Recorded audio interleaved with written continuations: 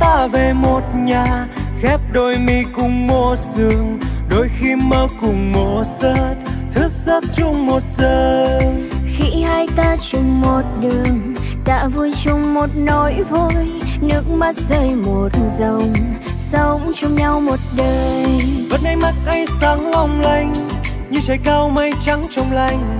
Đến hôm nay anh vẫn chưa thể biết em đã về đây với anh nhớ những lúc đi giữa mái trường xưa cùng rền rẽ dưới gốc cây trú mưa.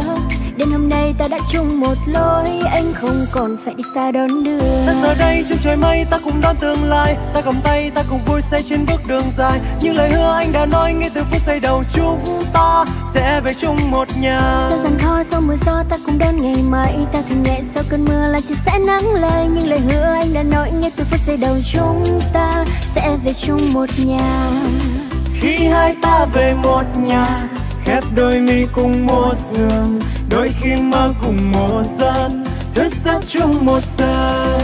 Khi hai ta chung một đường, ta vui trong một nỗi vui, nước mắt rơi một dòng, sống cho nhau một đời.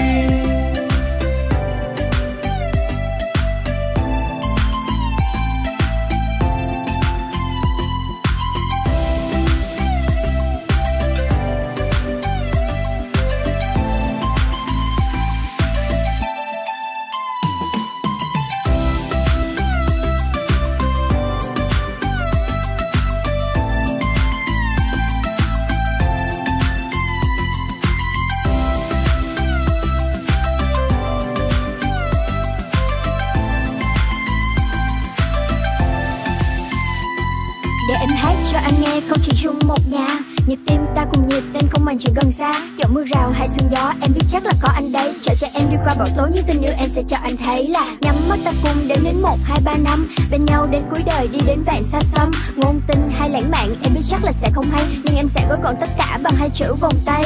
Khi ta nhắm mắt, đã cùng chung một giấc. Nhìn về một hướng biết giấc mơ trở thành sự thật. Và em sẽ nhốt anh vào ở một nơi là mật thất. Vì tất cả em cho đến anh là ngàn điều chân thật nhất cô gái nhỏ một cả thế giới đến bên anh Tim em đầy màu hồng. Vì đã khắc tên anh Màu xanh đầy hy vọng. Nhưng không có mong manh, Một thế giới muôn màu. Em và anh ở trong xanh khi hai ta về một nhà, khép đôi mi cùng một giường đôi khi mơ cùng một giấc thức giấc chung một giờ khi hai ta chung một đường, ta vui trong một nỗi vui. Nước mắt rơi một dòng sống cho nhau một đời hai ta về một nhà khép đôi mi cùng một giường, đôi khi mơ cùng một dân thức giấc chung một giờ khi hai ta chung một đường, ta vui trong một nỗi vui, nước mắt rơi một dòng, sống cho nhau một đời